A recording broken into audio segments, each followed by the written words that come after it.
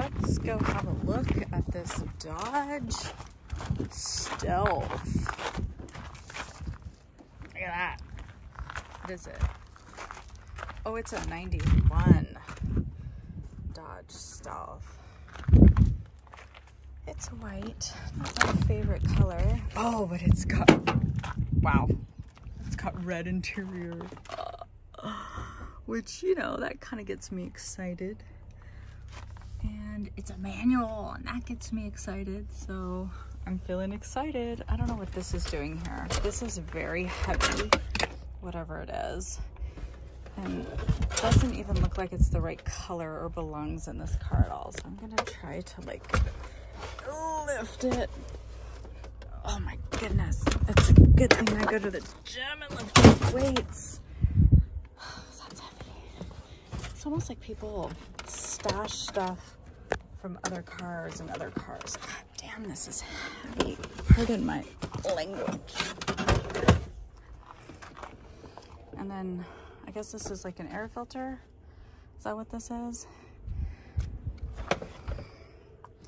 And some more car guts and and then this seat looks like it kind of is needs to go back like that. So now I can finally get in the stealth. Let's see what we see here. Um, it's got some visors with like a little cosmetic mirror thing. Um, glove box, kind of deep glove box it looks like. Look at this red upholstery.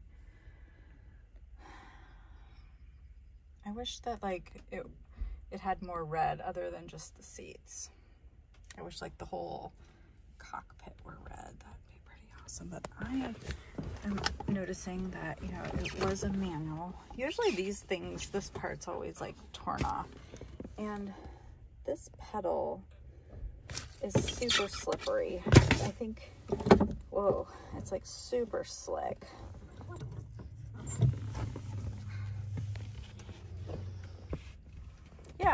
I think that's the ashtray right there. If you want to, you know, set your cigarette down while you shift and then pick it up and take another drag off it and then, you know, shift. Cigarette lighter. I don't know what used to be here. Um, but I bet there were fun times in this car.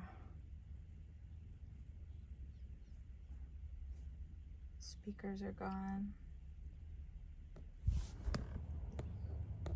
Door panel. This looks kind of just looks kind of cheap. Like there's like this vinyl door panel and then just like a piece of carpet glued on there, like a little to add a little red flare to match the red seats. The red's very faded. It looks almost orange or pink, kind of a pinky orange. But you can see a little bit more of the red. Carpet back there. No sunroof. Um, let's take a look at the front. Um, oh wow, 250,000. Uh, 250,000 plus miles, 253,791. Sorry, sometimes I read numbers backwards or reversed reversed order.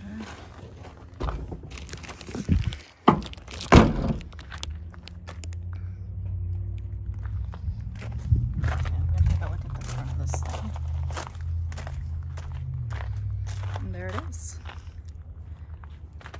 That's all she wrote.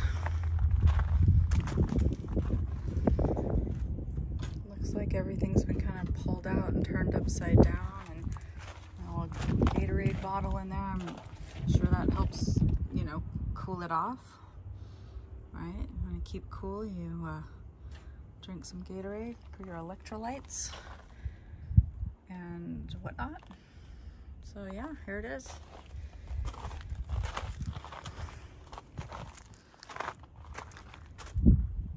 Beauty fades. We all get old.